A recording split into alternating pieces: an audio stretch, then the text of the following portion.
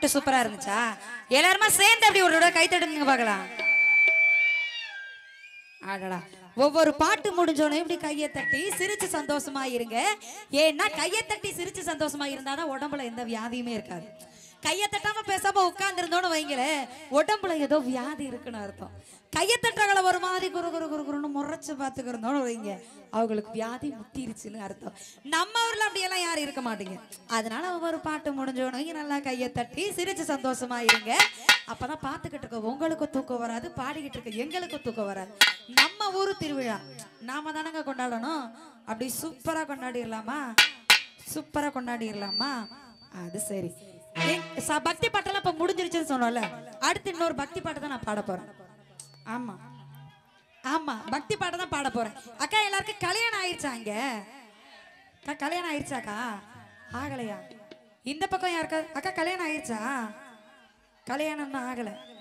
அவங்களுக்கு ஆயிடுச்சு அந்த ரோஸ் கலர் சேலை பாரு. என்ன ஏதாவது பார்த்து அந்த பொண்ணு கேக்குதுன்னு அந்த பக்கம் திருமணம் அக்கா கல்யாணம் ஆயிடுச்சா உங்களுக்கு?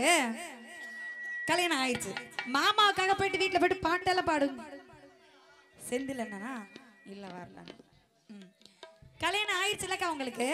மாமாவுக்காக வீட்டில் பாட்டெல்லாம் போயிட்டு பாடுவீங்களா? பா- பாடுவீங்களா? ஆமாம் அவருக்கெல்லாம் சோறு போடுறதே பெரிய விஷயம். பாட்டெல்லாம் வேற பாடணுமான்னு வேற அப்படியெல்லாம் சொல்லக்கூடாதுக்கா. இன்னைக்கு நான் வந்து நம்ம வாதிரிப்பட்டியில எப்படி பாடணுங்கிறத நம்ம சொல்லி கொடுத்துட்டு போறேன். ஆமா நான் தினமும் பாடிக்கிட்டே இருக்கேன் எங்க வீட்டில் அதனால இன்னைக்கு நம்ம வாதிரிப்பட்டியில வந்து நான் சொல்லி கொடுத்துட்டு போறேன் எப்படி பாடணுங்கிறத. நாளைக்கு போயிட்டு நம்ம மாமாவுக்கு முன்னாடி இந்த பாட்டை போயிட்டு பாடுங்க. லவ் மட்டும் எப்படி ஒர்க் அவுட் ஆகுதுன்னு மட்டும் பாருங்க. சரியாக்கா? சரி.